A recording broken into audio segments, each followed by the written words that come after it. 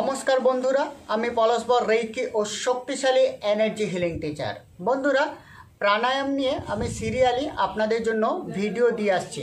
আজকের যে প্রাণায়ামটা নিয়ে আলোচনা করব, এই প্রাণায়ামের নাম হলো শীতলী প্রাণায়াম।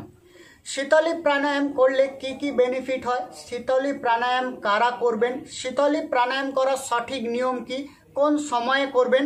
এ বিষয়ে ডিটেলসে আমি আলোচনা করব। তার জন্য ভিডিওটা আপনারা অবশ্যই শেষ পর্যন্ত দেখবেন। কোথাও স্কিপ করবেন না।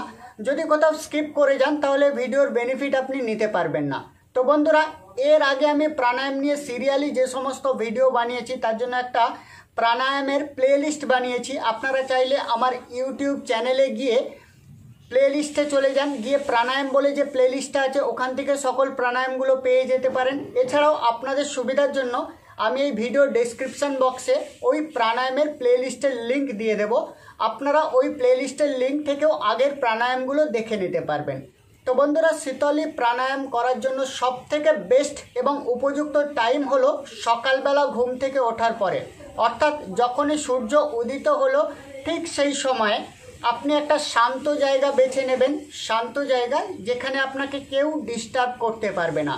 যেখানে পর্যাপ্ত পরিমাণে আলো বাতাস চলাচল করবে, আপনি কোনো একটা পার্ক বেছে নিতে পারেন, আপনার ঘরের ছাদ বেছে নিতে পারেন, বা আপনার বাড়ির মধ্যে যেখানে পর্যাপ্ত পরিমাণে আলো বাতাস চলাচল করে, সেরকম একটা জায়গা বেছে নিতে পারেন। বেছে নিয়ে আপনি প্রাণায়ামটা করতে পারেন। এই প্রাণায়াম কারা করবেন? যাদের গলার বিভিন্ন ধরনের প্রবলেম হয়, অর্থাৎ একটুতেই গলা ভেঙে যায় ঠান্ডা লেগে যায়, গলা বসে যায়, গলা ফুলে যায়। অর্থাৎ গলার বিভিন্ন প্রবলেম যাদের আছে, তারা এই প্রাণায়ামটা করলে খুব সুন্দর বেনিফিট পাবেন।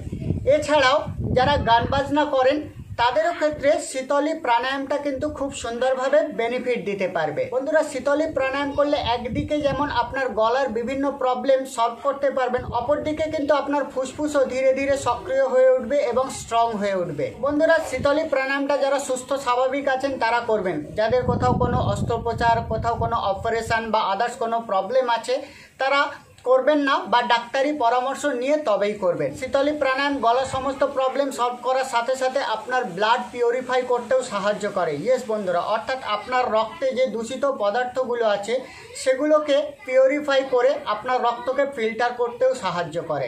তো শীতলী প্রাণায়াম করার জন্য একটা শান্ত জায়গা বেছে নিলেন।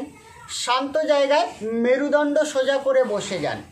মেরুদণ্ড সোজা করে বসার পরে আপনি জ্ঞান মুদ্রাটা করে নেবেন। আমি প্রতিবারের ভিডিওতে বলে থাকি, জ্ঞান মুদ্রা করার নিয়ম হচ্ছে আপনি এই যে দুটো আঙুল জাস্ট সব টাচ করে নেবেন। কোনো রকম জোরে বা কোনো রকম প্রেসার ক্রিয়েট করে টাচ করবেন না। করার পরে আপনি কোলের ওপরে হাতটাকে এইভাবে রেখে দেবেন।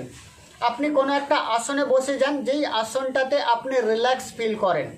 মেরুদণ্ড সোজা করে বসবেন যাদের কোমরে বা যাদের পায়ে প্রবলেম আছে, তারা চেয়ারে বসেও এই শীতলী প্রাণায়ামটা করতে পারে বন্ধুরা, এইভাবে বসে যাওয়ার পরে আপনাকে করতে হবে কি? বাতাস নিতে হবে মুখ দিয়ে। কীভাবে বাতাস নেবেন? যখন আপনার ঝাল লাগে, আপনার ঝাল লাগলে বা কোনো ঝাল জিনিস আপনি যখন খান, তখন আপনি কি করে বাতাসটা নেন? ঠিক এইভাবে। এইভাবে আপনি যখন বাতাসটা নেন, ঠিক এইভাবে আপনাকে বাতাসটা নিতে হবে স্লোলি স্লোলি কতক্ষণ ধরে নেবেন? দু সেকেন্ড, তিন সেকেন্ড। স্লোলি স্লোলি আপনি বাতাসটাকে নেওয়ার চেষ্টা করবেন। আর যখন আপনি বাতাসটাকে নেবেন, আপনার জিভটাকে একটু ফোল্ড করে রাখবেন। বাঁশির মতো সরু করে রাখবেন, অর্থাৎ ইউ শেপে করে রাখবেন। ইয়েস বন্ধুরা? তো এইভাবে আপনার জিভটাকে করে আস্তে আস্তে আপনি শীতলী প্রাণায়াম করার জন্য বাতাসটাকে আপনি নেবেন, আপনার একদম পুরো ফুসফুস ভরে। নেওয়ার পরে আস্তে আস্তে আস্তে আস্তে আপনি নাক দিয়ে ছেড়ে দেবেন। বন্ধুরা, আপনাদের বোঝার সুবিধার জন্য আমি শীতলী প্রাণায়ামটা কয়েকবার করে দেখাচ্ছি। বন্ধুরা, জিভটাকে ইউ আকৃতি করবেন কীরকম? আমি আপনাদের জাস্ট জিভটাকে বাইরে এনে বোঝাবার চেষ্টা করছি। এই টাইপের জিভটাকে করে নেবেন ভেতরে। অর্থাৎ আপনার দাঁতের সাথে, আপনার তালুর সাথে জিভের চাপ থাকবে, জিভটা ভেতরে ইউ শেপে হয়ে থাকবে এবং আপনি বাতাসটাকে আস্তে আস্তে টানতে থাকবেন, ঠিক এইভাবে। বাতাসটাকে টেনে নিলেন।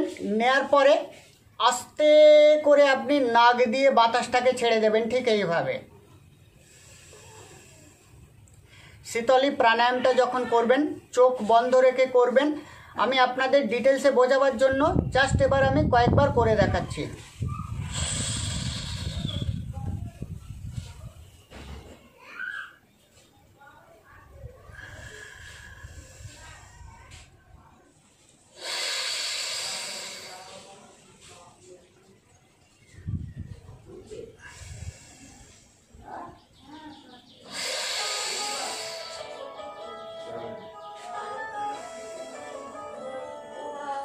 তো বন্ধুরা, এইভাবে আপনি কয়েকবার শীতলী প্রাণায়ামটা করবেন। যাদের গলার বিভিন্ন প্রবলেম আছে, তারা কভার করবেন। প্রথমে চার থেকে পাঁচবার প্র্যাকটিস করুন। আস্তে আস্তে আপনি এই টাইমটাকে বাড়াতে পারেন। যত সময় যাবে, আপনি এটা দশ বার পনেরো বার কুড়ি বার পর্যন্ত করতে পারেন। কিছুদিন এই প্রাণায়ামটা করার পরে আপনি অনুভব করতে পারবেন যে আপনার যদি স্কিনের প্রবলেম থাকে স্কিনের প্রবলেম সলভ হতে শুরু করেছে আপনার স্কিনের মধ্যে একটা গ্লেজি ভাব আসতে শুরু করেছে।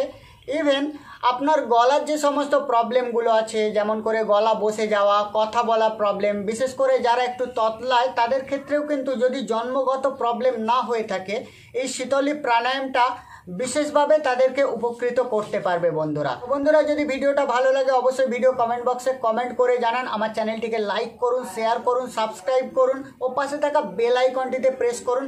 পরবর্তীকালে এই টাইপের আরও আকর্ষণীয় ভিডিও নিয়ে আমি অবশ্যই আসব। আজকের মতো আমি আপনাদের থেকে বিদায় নিচ্ছি। আমি আপনাদের চিরবন্ধু পরস্পর ঐক্য শক্তিশালী এনার্জি হিলিং টিচার